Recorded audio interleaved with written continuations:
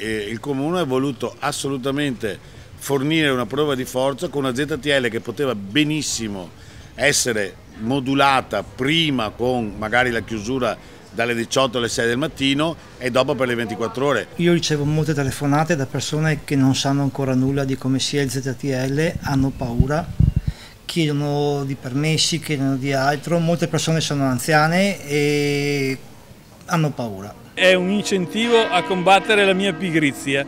Si va meglio a piedi, si va meglio in bicicletta se vogliamo, quindi non c'è problema per i varchi.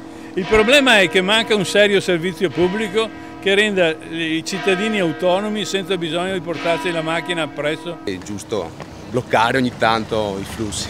Basta seguire le regole, non è, non è un problema.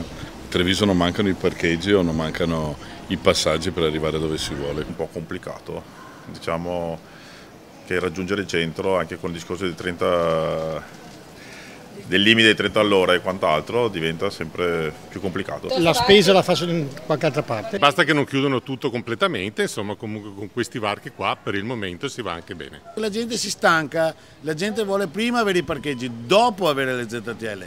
Non è difficile da capire, ma se il comune non lo capisce è un problema loro, non nostro. Noi che abbiamo le attività commerciali ci guardiamo ci, ci giriamo le mani e ci guardiamo intorno e ringraziamo il comune.